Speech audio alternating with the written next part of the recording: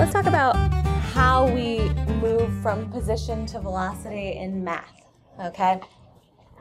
So, um, if we have something moving like this image that we just saw, um, we can plot the position, right, at each point. So here, if we just take snapshots every second, like we did before with the Roomba, this is where we are at zero seconds, one second, two seconds, three seconds, four seconds, okay? Um, if we want to draw the velocity vectors, we don't necessarily, the displacement vectors don't tell us as much as the velocity vectors. Here are our velocity vectors. This is what we call uniform motion, which means constant velocity. That's all it really means, okay? What do you notice about all these arrows? Yeah, they're all the same length, which means they're a constant velocity. We are not changing speeds, okay?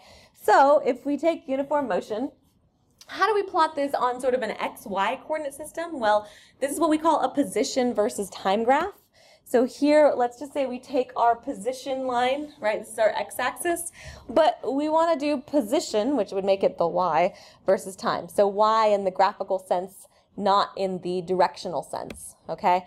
So we basically tilt it up like this. We keep the same units, and now it's sort of the y-axis, and we use time as our x-axis, okay? So remember, x, y, z, mostly like horizontal, well, it gets confusing. Horizontal and vertical and Z is this way, depending on what you're doing. But they all change. These are all just what we call sort of dummy variables. They're a stand-in to keep track of things, okay? When we're talking about the xy of a graph, that's just so you know, well, when you say y equals mx plus b, what's y now? x, right? What's, what's x now? Y. t, right? This is our y-axis, this is our x-axis. So you would say x equals mt plus b, right? And remember, m is the slope, which we don't have anything on the graph, so it doesn't matter yet. And b is the y-intercept, which in this case would be the x-intercept. Okay, so you just you you have to take these things you know from math, and you have to map them to what you're doing in physics. Okay, and once you start doing that, it's not that complicated, but get used to that process. So anyway, this is what we call a position versus time graph. You're going to get intimately familiar with them in the lab this, this week. Um, that's what we're working on. But if you want to plot this, where are we at zero seconds? Position zero. So we put a dot there, okay? What about at one second? So at one second, we're at 200, so we do that. Okay, and then we keep going. At two seconds, we're up here at 400. At three seconds, we're up here at 600. At four seconds, we're at 800.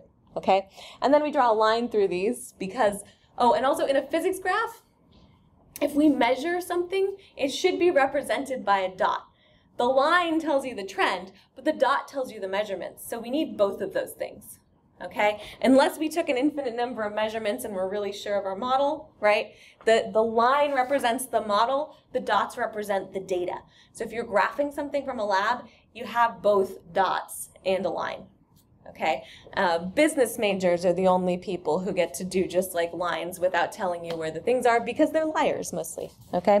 Um, or they don't understand math. So anyway, here's uniform motion. We're getting rid of the dots because we're just talking about the model now, okay? The model of uniform motion says that has to be a straight line because, remember, this is a position versus time graph. Uniform motion is constant velocity. So how do we find the velocity from this graph? Slope, right? Because it's a derivative. Take the derivative of the graph, it's a slope. If you take the derivative of this, what's cool about this slope? It's constant. It doesn't change. Okay. So if we want to do the uh, the good old um, rise over run, right? That's the easiest way to take slope. You can see this gives you um, uniform motion. So this, in this case, in the case of uniform motion, the average velocity is the same as the instantaneous velocity because at every point of the motion, the average velocity and the instantaneous velocity are the same. Okay? That's not always the case. That is why uniform motion is special. All right? Okay. So the slope of the graph gives velocity. What, oh, what's b in this case? Like if we do y equals mx plus b, which is now x equals mt, well actually x equals vt, right? Because we know the slope is velocity. X, let me write that out. So we start from y equals mx plus b. That's just a math definition, yes? Okay. Then we know for our case, this is x equals velocity, right? Or in this case, just a velocity. Uh, and then what's this? T. And then there's still this b. What's this b now? The x-intercept, which is in this case what? Zero. Zero. So if you wrote this, it would just be x equals vt. Okay? Cool. So here's, oh, I guess I animated this too. Uh, yeah, there. and it turns out this would be your initial position. That's what I mean by the initial conditions, okay? So if you were integrating backwards to get this definition, that would be your plus c, this thing. Okay? So unless somebody told you what it was, it would just be an unknown plus c. All right, cool. Here is a, so, oh, is this, is this equation is going to come up a lot. Is it always true for all motion? No. Or is it a special case? Uniform? It's a special case for uniform motion, which means constant velocity. Okay? So if your velocity is not constant, should you use this equation? When is velocity not constant? When you're accelerating. When you're accelerating. So for instance, if, if I um, drop my keys, was that velocity constant? Mm-hmm. No, because it's definitely accelerating because of this whole gravity thing we're dealing with. Okay, so it's only for constant velocity, and we're starting with it not because it's the the full definition, but because it's the easiest one to understand. Okay, cool. Let's try a problem. So, just think about this and how it would look on the graph. So it's A, C, or D with a strong vote for D. So please discuss and we'll vote again. Ooh, it's unanimous. Cool. Anyone, anyone, bleh. okay. Anyone want to explain why the slope is negative? I guess because pointing to the arrow, I see the arrows are pointing to the left. Yeah, the, the velocity is pointing to the left. So this is the positive direction, that's the negative direction. Anyone want to explain why it, even though the slope's negative, it's this one and not this one? It crosses zero. Yeah, it crosses the zero. And you can tell it crosses the zero because you can see it actually moving past the zero. Okay? So that's what we mean when we're doing graph. You guys are going to be, you're just going to kill the lab. This is exactly what we're doing in the lab, except instead of looking at these, you have to be this dot. Okay? So one of you gets to be a dot. You can be a particle for a day. Um, okay, cool. All right. Uh, oh, this was supposed to be at the break. I forgot. But um, what's this? Philosopher. Yeah. How do you get a velociraptor?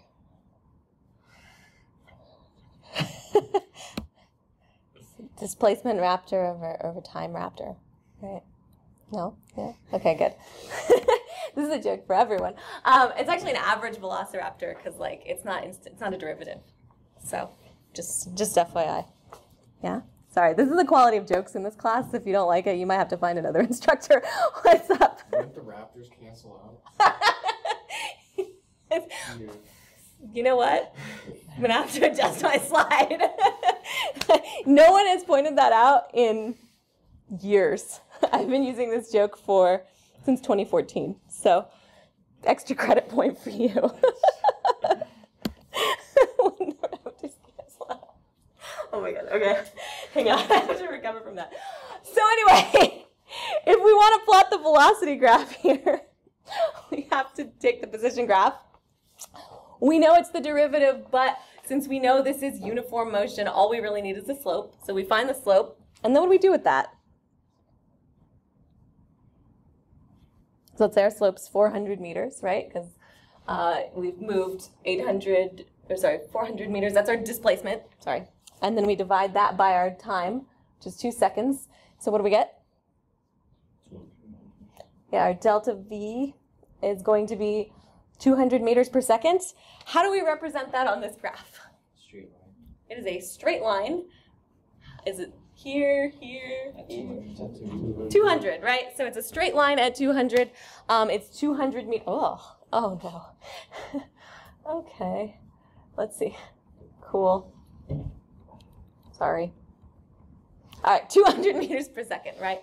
And like I said, we're using colors sort of as visual indicators. So blue always means position, green always means velocity, orange always means acceleration. That's the same as in the book, and I'm going to try to do that just so it's clear what we're talking about, okay? Um, you don't have to do it, but it does help.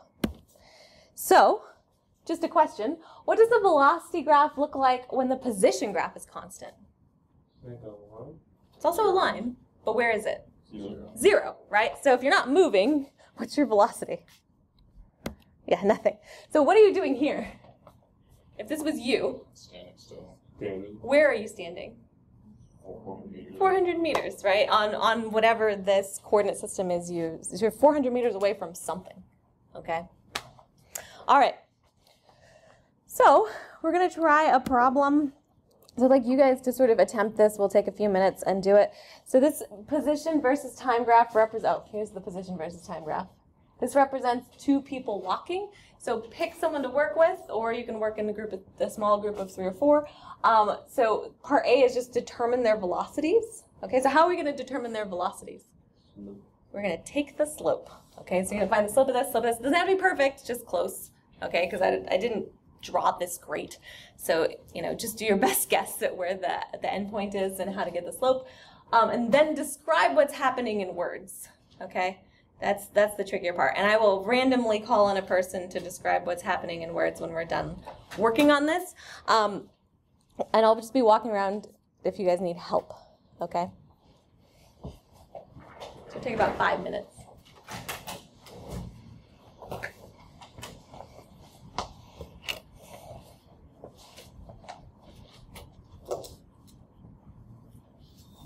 Yes, we find the slope of each one. So we'll start with this guy, right?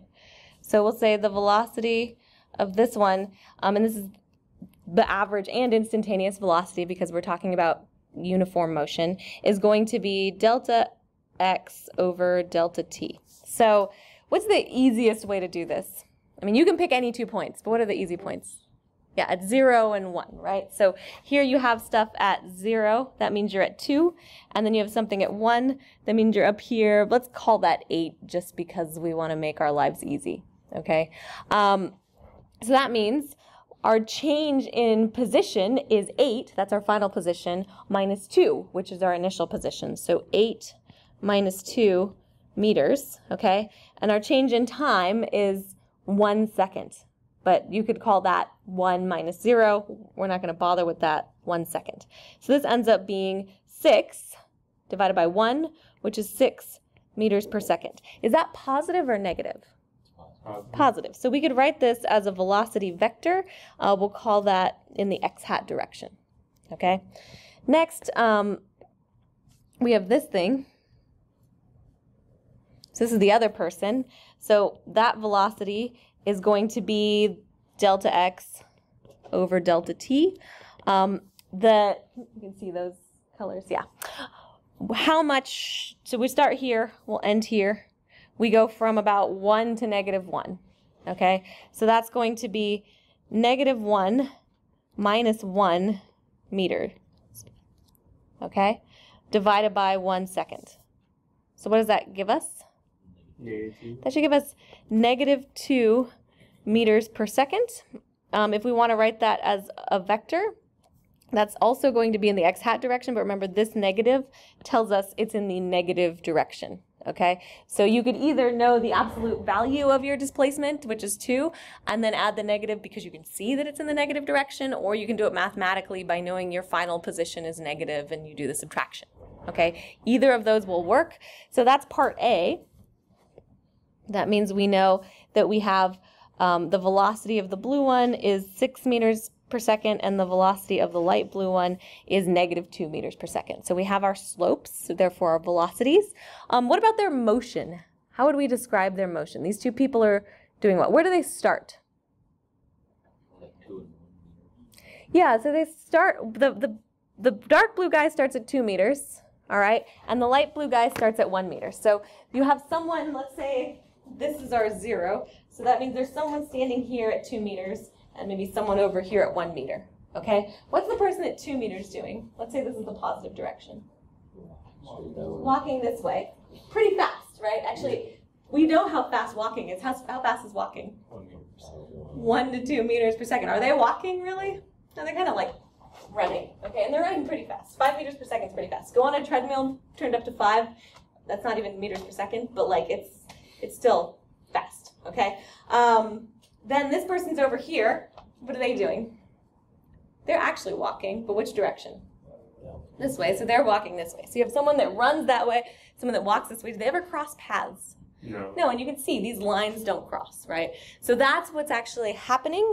So now you you we've been describing motion, like we what something's doing. We made it into a graph. You can also look at a graph and describe what's happening backwards.